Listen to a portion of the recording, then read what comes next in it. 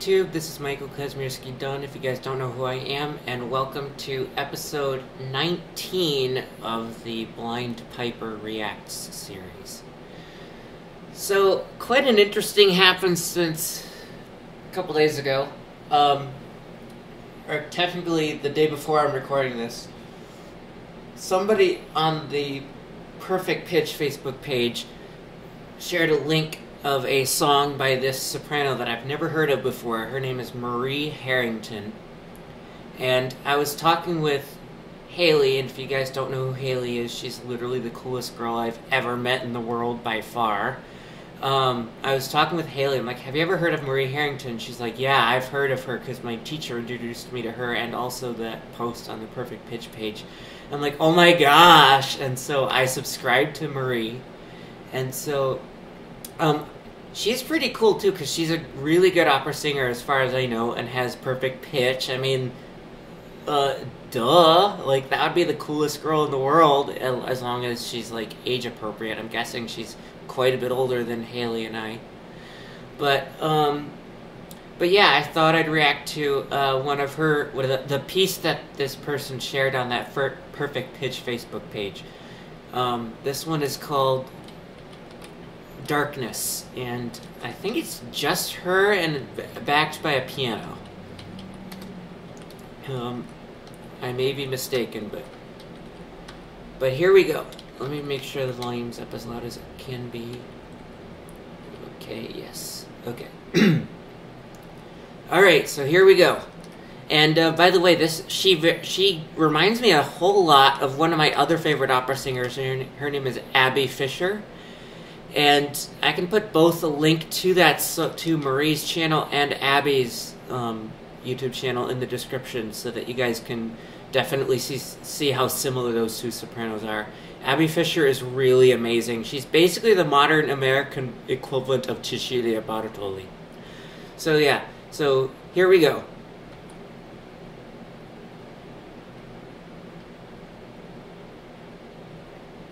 If it's playing, might be a long, long silence at the beginning.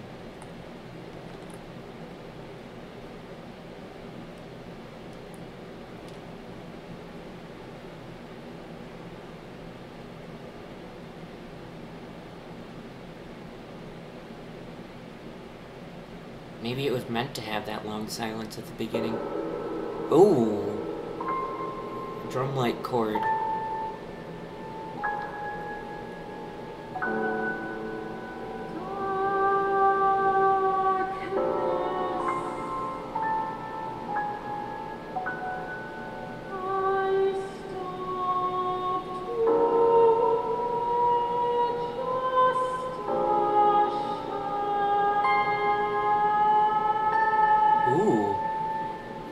Definitely a 24 note per octave. This is really cool.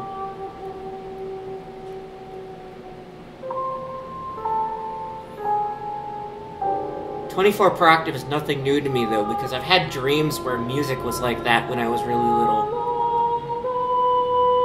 She had to use like a, a two pianos, like two and fifty cents apart to hit those notes, because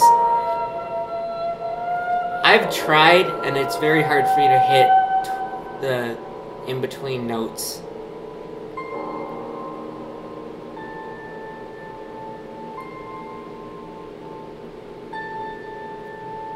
The piano part is sounds a little bit like Ravel a little bit. Ooh. You've got an amazing vibrato, Marie. I love that. Holy Mazzillo. Definitely. Ooh! Awesome! I'm so glad you don't have a wobble. You're joining the ranks of the amazing opera singers, Marie. I love you for that.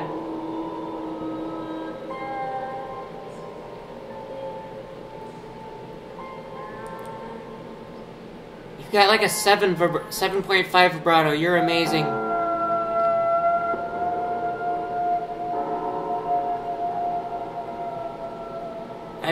Very similar piece for two pianos, two and fifty cents apart by Charles Ives. Hailey said that's one of her least favorite composers. So It also kind of reminds me of there's a composition by George Crumb written in 1970 called Ancient Voices of Children.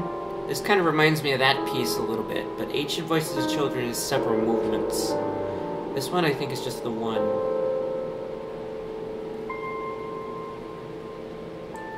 And keep in mind, I'm blind, so obviously I would not be able to see how she can. Because somebody mentioned on the perfect pitch page, somebody mentioned the use of an iPad to hit those notes. Um, the only possible way I could imagine her being able to hit those notes dead on is, you know, listening to the actual notes playing in headphones, you know?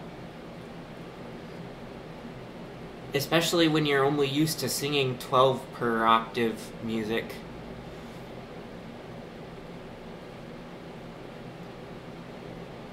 I think it may be over. Um, while on the subject of Marie Harrington, I'd like to react to another piece that I just found just today. Um, it's called um, On a Tired Housewife. Whoa! You've got a hot vibrato, Marie. Hot vibrato.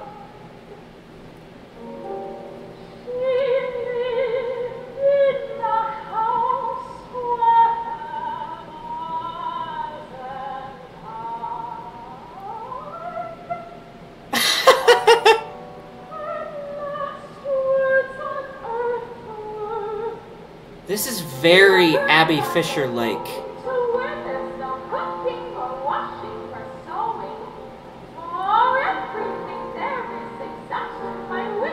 I like that chanting.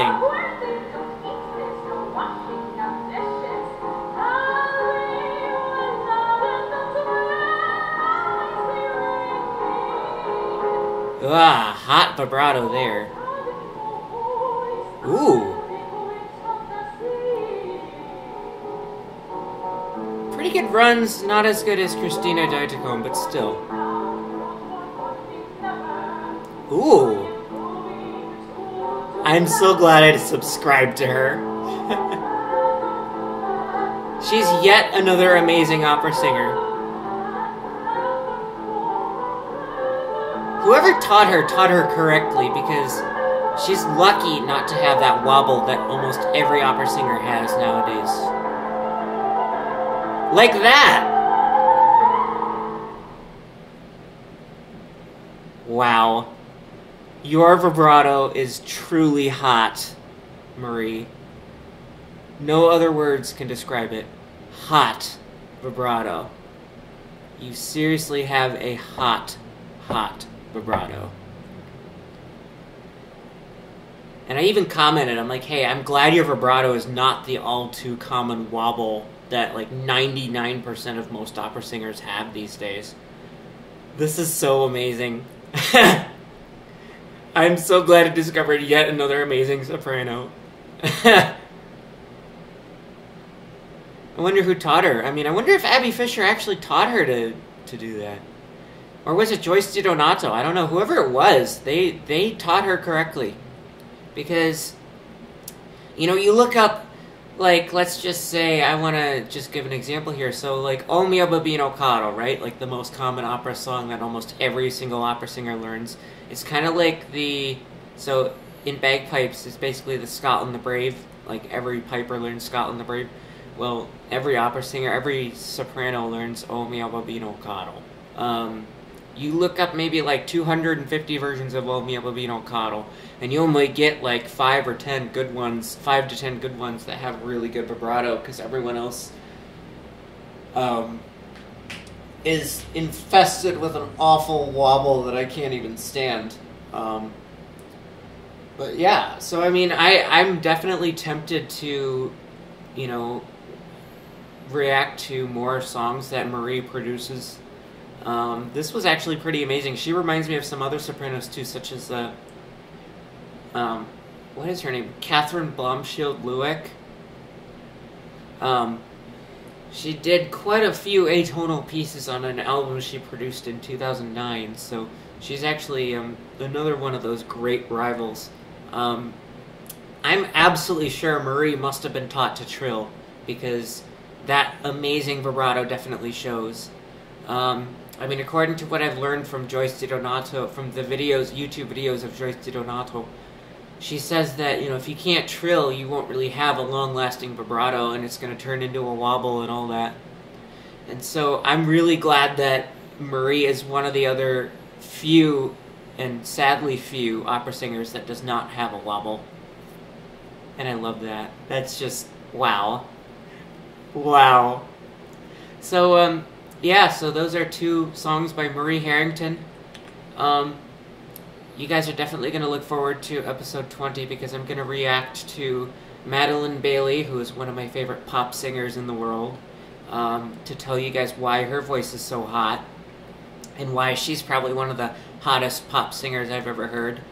Um, but that'll be in, that'll be another day. Um, so yeah, if you're new to this, feel free to hit like and subscribe um, so that you can definitely um, listen to a piper's perspective on really interesting music that you probably wouldn't have ever heard before, or um, you know just what a piper thinks of you know general like pieces that some people heard before. Um, but yeah, um, so um, have a great day and join me for episode 20 of Blind Piper Reacts next time. Ciao.